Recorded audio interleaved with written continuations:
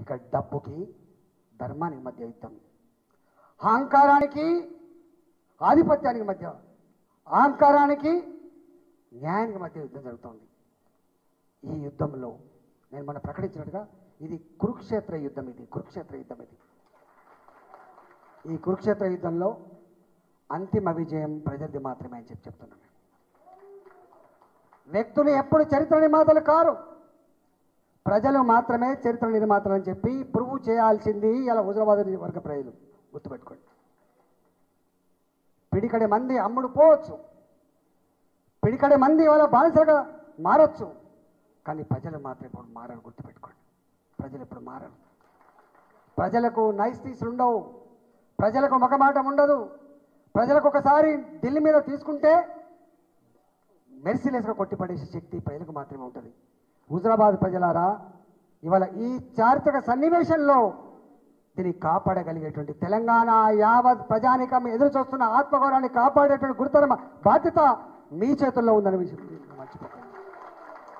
మీ చేతుల్లో ఉంది వాళ్ళ ఇవాళ నేను ఎస్ భారతీయ జనతా పార్టీలో చేయనండి నేను. నేను కాషాయ జెండా కింద చేయనండి నేను. రేపు నేను పోటీ చేస్తున్న పు- గుర్తు పువ్వు గుర్తు కింద ఉన్నా ఇవాళ కూడా రాయంద్రన్న పిలుతాను రాని తీసుకొస్తానట మీటింగ్లో వాళ్ళ మీటింగ్లకి. రాయంద్ర గుర్తు అంటే కాదు. ఎస్ నిజమే. ఎందుకంటే ఆరు ఆరు ఎనిమిది సార్లు ఆరు సార్లు నా ఎలక్షన్ రెండు సార్లు ఎంపీ సపరేట్ ఎలక్షన్స్ మూడు సార్లు సర్పంచ్ ఎలక్షన్లు మూడు సార్లు MPTC elections single window elections అనేకం కొట్లాడినాం. నా గుర్తు నిజంగా ఉండిపోయింది.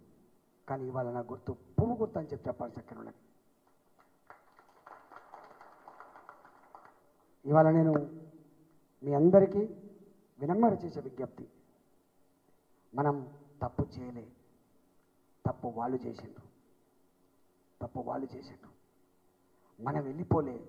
వాళ్ళు ఎల్లగొట్టిండ్రు ఎస్ ఎల్లగొట్టినందుకు తప్పకుండా ప్రతీకారం తీర్చుకుంటాం. తప్పకుండా ప్రతీకారం తీసుకుంటాం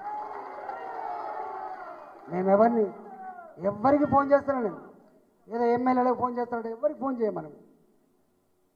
ఇవాళ ఎవరెవరైతే నియోజకవర్గానికి వస్తుండ్రో మంత్రులుగా ఎమ్మెల్యేలుగా వస్తుండ్రో వాళ్ళ చరిత్ర ఏందో నాకు తెలుసు.